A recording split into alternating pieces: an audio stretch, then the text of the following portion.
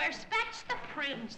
Been doing experiments with scotch and soda again, huh? Now, where'd you get the news item? From a little bird? Yeah. Have a pleasant vacation? Charming. What delightful people crippled. That's fine. Consider yourself crippled, financially.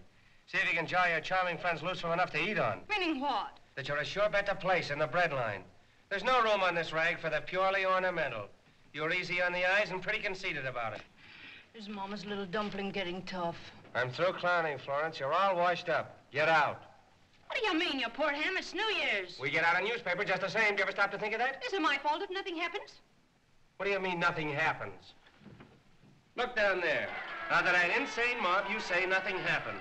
There's a story in every person down there. What must I do? Circulate among them and say, I beg your pardon, madam, would you tell me the story of your life? Of course, getting newspaper stories is none of our business. You're through. Get out. Get out. Go on, get out. You're fired unless you bring back a story for the next edition. Even if it's only a new recipe for spaghetti.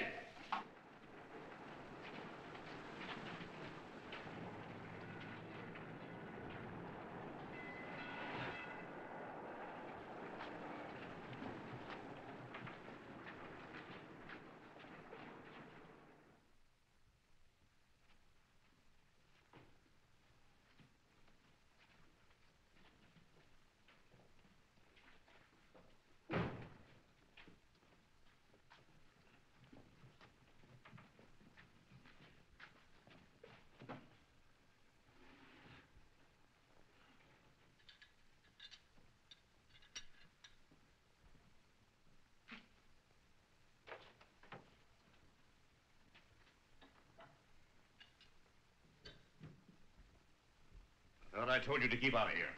Hello. Uh, I won't bother you, but I'm all in. My nerves are all shot. Your nerves are not the only thing that'll be shot, you sneaking rat. You've been talking again. Ah! Give him a bag.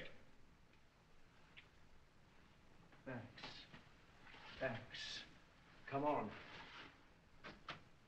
And understand this. You get nothing more from me until you show me something. And the next time you talk on a turn, you're going to have bad luck. Understand? Thanks.